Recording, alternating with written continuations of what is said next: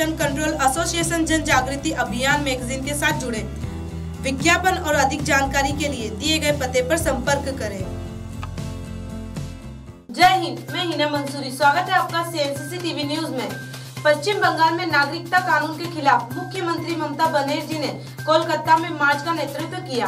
बनर्जी ने एक बार फिर कहा कि वो राज्य में नागरिकता कानून लागू नहीं होने देंगी। बनर्जी ने इसी बीच एक बड़ा बयान दिया है। ममता ने कहा कि राज्य में कानून लागू करने के लिए केंद्र सरकार को उनकी लाश से गुजरना होगा। इससे पहले ममता ने कोलकाता में रैली का नेतृत्व करते हुए कहा कि वो अपना विरोध प्रदर्शन तब तक वापस नहीं लेंगी, जब तक एनआरसी और नागरिकता कानून को वापस नहीं लिया जाता। ममता बनर्जी की ये रैली रेड रोड स्थित बी आर अंबेडकर की मूर्ति से शुरू होकर जोरा साकोट, ठाकुरवाड़ी में जाकर खत्म हुई। रैली में तृणमूल कांग्रेस के हज़ारों कार्यकर्ताओं और समर्थकों ने हिस्सा लिया। ममता जुलूस के आगे आगे चल रही थी। उनके पीछे बाकी लोग और धार्मिक नेता थे, जो सुरक्षा कर्मियों के घेरे में थे।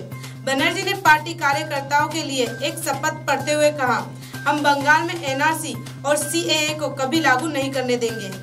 Bureau report. हमारी YouTube channel C N C C TV news को सब्सक्राइब करें और दबाएँ बेल आइकन ताकि हमारी खबरें सबसे पहले पहुँचे आप तक।